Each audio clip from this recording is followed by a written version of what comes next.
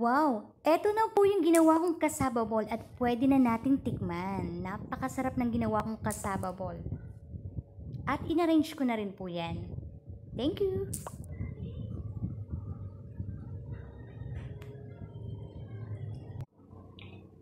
Hello everyone! Magandang hapon po.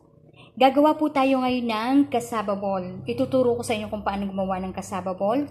At ang gagamitin natin, kamoting kahoy. Siyempre, lalagayin muna natin ang kamoting kahoy. Ilalagay natin siya sa rice cooker. Ayan. At lalagyan po natin siya ng water.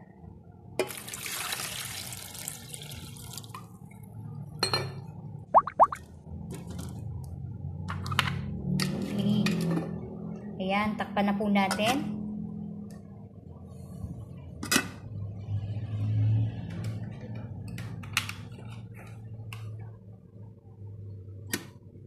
Okay, antayin natin siyang maluto.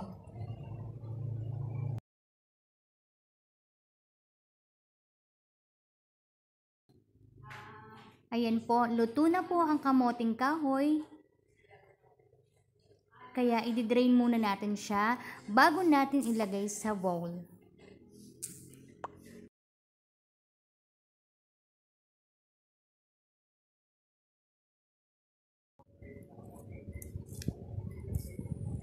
Ayan po, dinudurog na natin ang kamoting kahoy.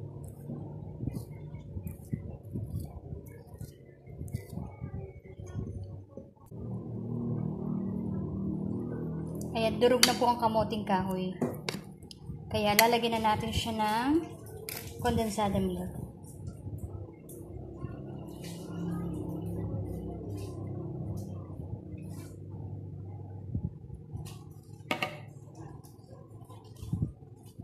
Ito po yung ano, birch tree. Birch tree milk. Lalagyan natin siya. Para mas masarap yung gagawin nating ano, kasaba bowl.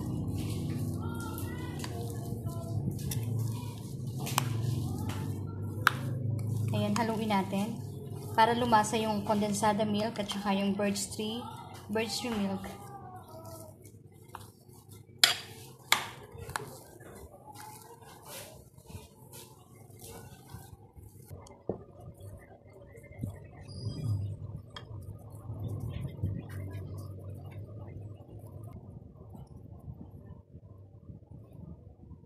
Ito na po yung kasaba ball. Ayan. Sinicircle na po natin.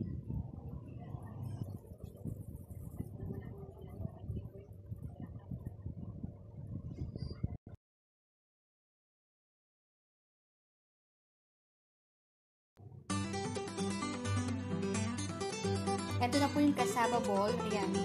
Pinapagulong natin sa powder milk.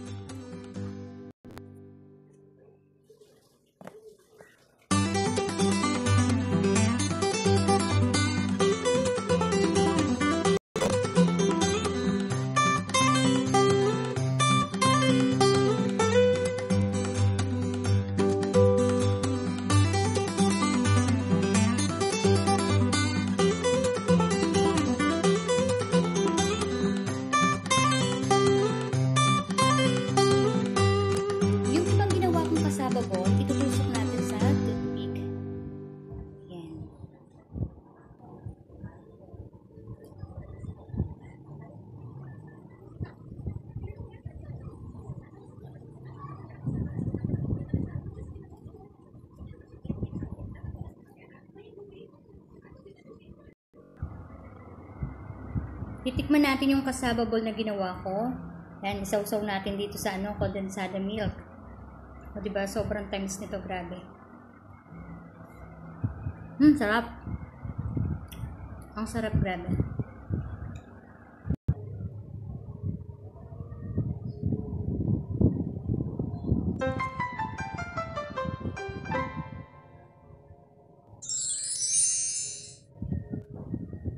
Sana po na-satisfied kayo sa pinakita ko kung paano gumawa ng cassava ball.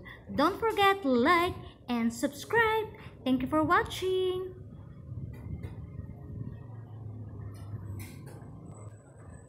Ang galing mo talaga na din, grabe.